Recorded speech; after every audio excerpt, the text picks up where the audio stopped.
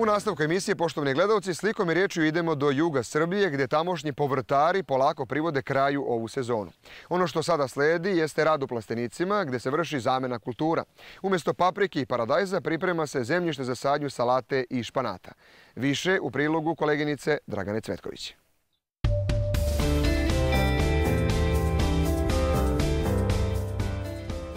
Povrtari koji se bave plasteničkom proizvodnjom u Niškom kraju privode kraju berbu pojedinih kultura i započinju pripremu zemljišta za nove zasade. Berba paradajza je gotovo završena dok paprika čeka prvi mraz. Na njihovo mesto doći će zelena salata, spanać, rani luk, a potom i prolećni kupus. Osnovno je izbaciti sav biljni materijal, sve ostatke, da se na njima najviše zadržavaju patogeni. Poželjno je izvršiti dezinfekciju zemljišta, e, jer zbog e, stalnog preklapanja kultura dolazi do akumulacije velikog broja patogena. Neophodno je obezbediti dobar sadni materijal što se tiče salate, e, sejati sertifikovana semena spanaća, sejati provereni sadni materijal luka, da to ne bi došlo do prenosa, opet do prenosa bolesti.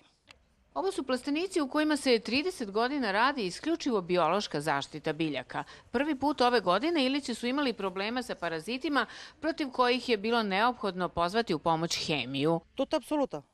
Tako se zove? Da, to je moljac paradajza koji je došao kod nas iz Južne Amerike. I bilo je samo pitanje vremena kad će da se pojavi i na našim prostorima. Sad je već to uzelo maha, sad se već to bukvalno proširilo. Znači više nije ni karantinska vrsta, sad je tu, tu je gde je, šta je, ali problem je što on uh, u našoj populaciji ovde nema svog prirodnog neprijatelja. Tako da se on nesmetano razmnožava.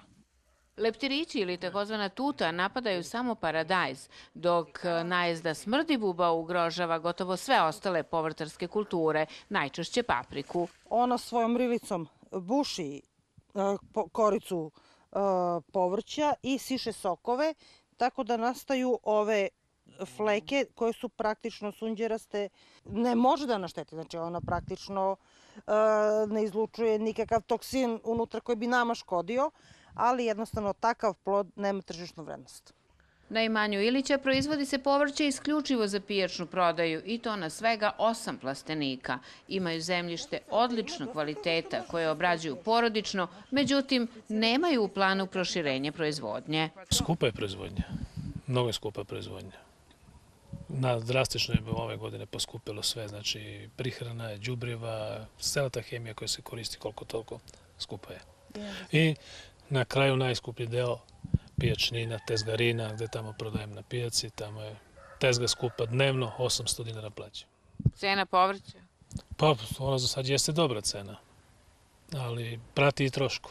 Ovo je rani prolećni paradajz. Nije imao tu cenu koju ima sad ovaj kasni paradajz. Kad na tržištu imate samo naš domaći paradajz, a ne i paradajz iz uvoza. Ovo bi moglo da bude i savjet i smernica za povrtare za buduće sezone. Ako već gube bitku isplativosti sa ranim povrćem, rešenje možda postoji u proizvodnji kasnih sorti.